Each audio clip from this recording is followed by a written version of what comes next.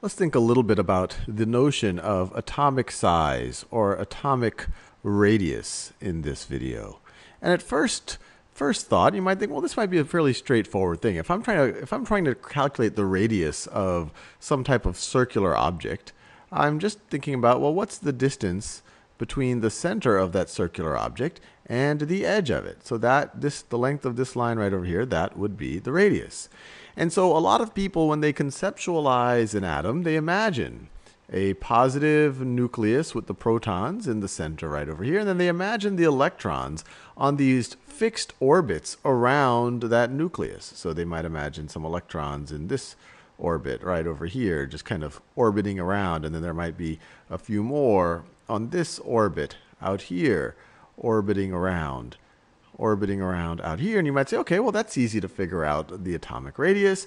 I just figure out the distance between the nucleus and the outermost electron, and we could call that the radius.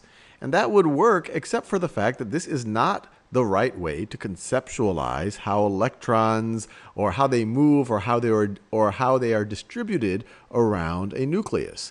The, we, electrons are not in orbits the way that planets are in orbit around the sun. And we've talked about this in previous videos. They are in orbitals, which are really just probability distributions of where the electrons can be, but they're not that well defined. So you might have an orbital, and I'm just showing you in two dimensions, it's, it would actually be in three dimensions, where maybe there's a high probability that the electrons, where I'm drawing it in kind of this more shaded in green, but there's some probability that the electrons are in this area right over here, and some probability that the electrons are in this area over here, and let's say even a lower probability that the electrons are over here this like this over here.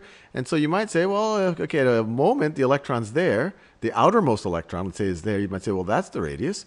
But in the next moment, there's some probability. It might be more likely that it ends up here, but there's some probability that it's going to be over there.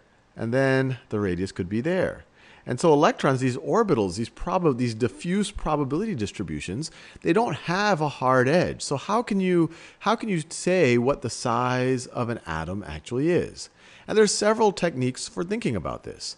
One, one technique for thinking about this is saying, okay, if you have two, two of the same atom that are of the two atoms of the same element that are not connected to each other, that are not bonded to each other, that are not part of the same molecule, and you were able to determine somehow the closest that you could get to them to each other. So without without them bonding. So you were kind of see what's the closest that they they they can they can kind of get to each other.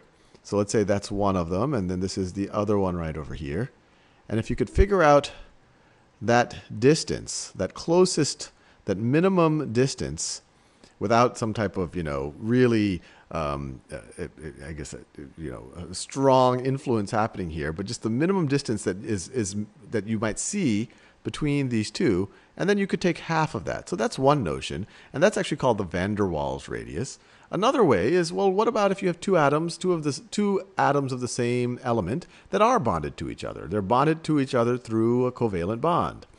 So a covalent bond, we've already we've seen this in the past. The most famous of covalent bonds is is well, uh, a covalent bond. You essentially have two uh, two atoms.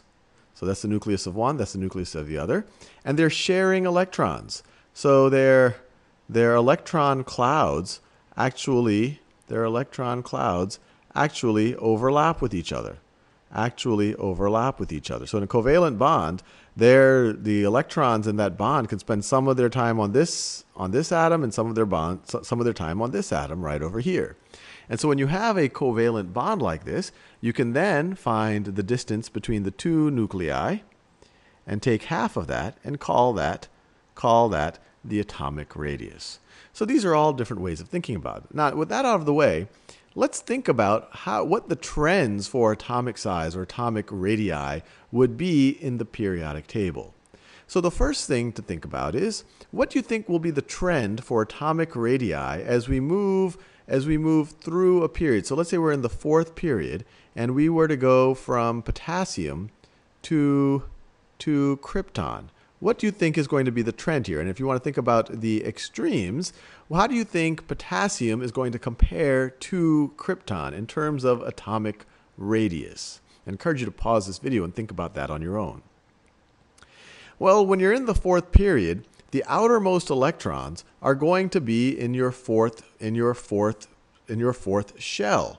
Now what's going on there? Well, when you're at when you're at potassium, you have 19 you know, 1, 2, 3, 4, 5, 6, 7, 8, 9, 10, 11, 12, 13, 14, 15, 16, 17, 18, 19. You have 19 protons and you have 19 electrons. Well, you know, I'll just do it you know, 1, 2, 3, 4, 5, 6, 7, 8, 9, 10, 11, 12, 13, 14, 15, 16, 17, 18.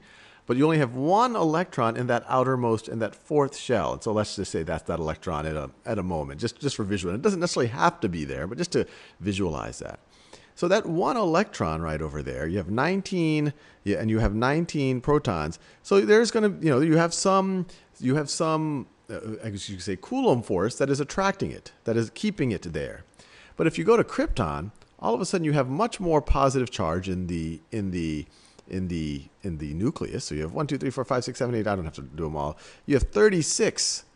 You have a positive charge of 36. Let me write that. You have th- plus 36. Here you had plus 19. And you have 36 electrons. You have 36 electrons. And I'm not, I don't even, I've lost track of them. But in your outermost shell, in your fourth, you're going to have the, the, the 2s, and then you're going to have the 6p. So you have eight in your outermost shell. So that'd be one, two, three, four, five, six, seven, eight. So one way to think about it, you have more positive charge in the center, and you have more negative charge on that outer shell. So that's going to bring that outer shell inward. It's going to have more. I guess you could you could imagine one way, you know, more Coulomb attraction right over there. And because of that, that outermost shell is going to be drawn in. Krypton is going to be smaller, is going to have a smaller atomic radius than potassium. And so the trend as you go to the right is that you are getting, and the general trend I would say, is that you are getting smaller as you go to the right in a period. And that's the reason why the smallest atom in uh, uh, uh, of, of, all the, the element with the smallest atom is not hydrogen it's helium helium is actually smaller than hydrogen depending on how you depending on what technique you use to measure it and that's because if we take the simplest case hydrogen you have one proton you have one proton in the nucleus and then you have one electron in that 1s shell and in helium you have two two protons in the nucleus. And you and I'm not drawing the neutrons, and obviously there's different isotopes, different numbers of neutrons, but the but you have two electrons now in your outer in your outermost shell, and so you have more. I guess you could say you could have more Coulomb attraction here. This is plus two, and then these two combined are negative two. They're going to be they are going to be drawn inward. So that's the trend as we go to the right, as we go from the left to the right of the periodic table, we're getting smaller.